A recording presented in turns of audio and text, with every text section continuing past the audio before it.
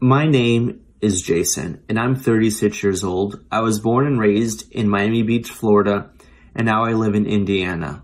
I am not ashamed to say that I'm a Republican, even in the age of Donald Trump.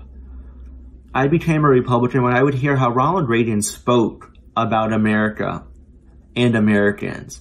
And my Republican roots were strengthened under the leadership of George W. Bush and how he led our country through 9-11. And whether or not we agreed with him politically, he always tried to do what was best for our country. In 2002, I founded my college's Republican Club and served as president while I was there. I also volunteered for George W. Bush's reelection campaign. I tell you all this so there can be no confusion as to what my political background is.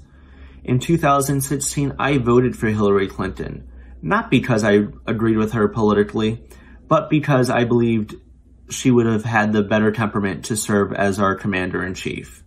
In 2020, I plan on voting for Joe Biden.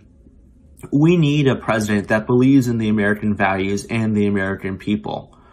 We need a president that ref- doesn't refer to Nazis as good people on both sides. We need a president that puts our military first rather than allow Russians to put bounties on their heads or go after Gold Star families.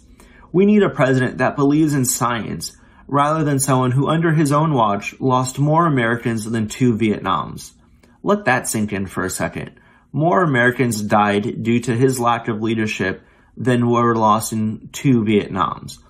We need a president that will do something about the 36 million Americans that are unemployed and the millions more that are underemployed we need a president that believes in our own intelligence community rather than the words of Putin.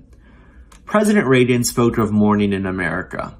These past four years, there has been a dark cloud over our country.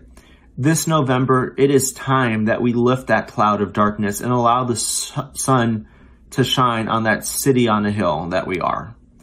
Reagan asked Carter in a debate, are you better off than you were four years ago? That same question still applies today, and the answer is no, we are not better off than we were four years ago. This November, it is time for all Republicans to stand up, take our party back from someone who has taken it hostage.